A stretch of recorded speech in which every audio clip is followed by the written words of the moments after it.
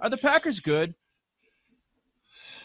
I I mean, I think we kind of thought that they were going to be good all season, and there was a bunch of you know inroads with the, the wide receiver situation taking too long to develop, and, and all these things with Aaron Rodgers not necessarily playing correctly. But you know, come come November, come December, like he he finds his rhythm. It seems like almost every single year until playoff time. So I think right now, like they're pretty good. I think it makes sense why they're you know a, a field goal favorite against the Vikings team that was you know uh, you know, home dogs to a Detroit Lions team that they, you know, are supposedly better than at least from a win loss perspective. But uh, I think the market's kind of set here, you know, at plus three. I think makes a lot of sense if it gets out to three and a half. You know, that's that, that's very much a spot where I'd probably buy into Minnesota once again here. Uh, I think you know, week one feels like a long time ago, but that was you know a, a, complete beating from the Minnesota Vikings side when they did match up with them in Week One, and and very much I know the path for how the Vikings have arrived at 12 and three has been a little bit chaotic, but